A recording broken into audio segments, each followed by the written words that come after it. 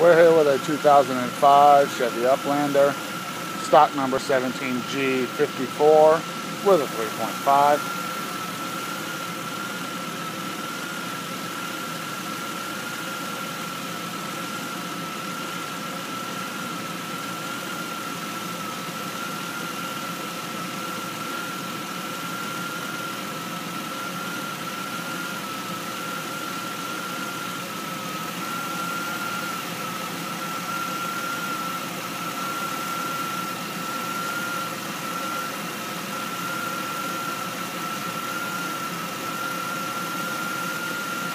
Once again, this is a 2005 Chevy Uplander, stock number 17E, or excuse me, G54 with a 3.5.